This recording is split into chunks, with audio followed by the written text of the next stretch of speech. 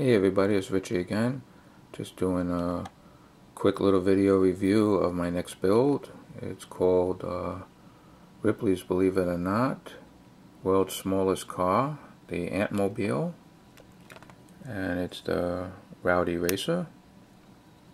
And this is what it looks like.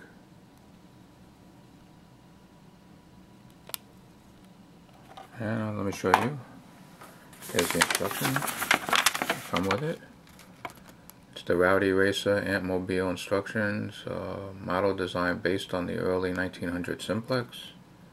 Shows you all the parts, the body, the roof, headlights, windshield, tool chest, wheels, interior, steering wheel, stand, uh, rear trunk, has everything, couple axles.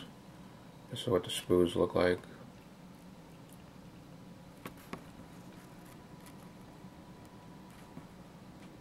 This is what it looks like put together. Here's the final. And let me show you the parts. And here's the parts. There's the base right here. And there's the, uh, zoom in a bit here. There's the uh, chassis. And there's the body. See all the detail on it. Look at that.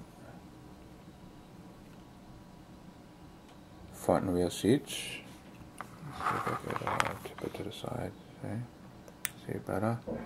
There's some more parts here. There's the axles, the wheels. I uh, got three axles.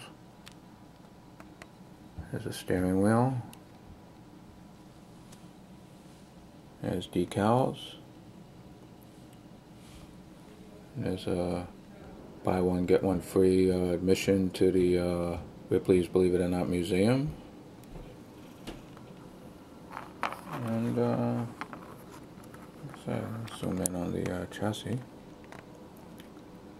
Anyway, so this is what I'm my build for the for the uh, Christmas holidays. I'm going to be building uh, this, the world's smallest car from Ripley's Believe It or Not model, and uh, said, it's called the Rowdy Racer.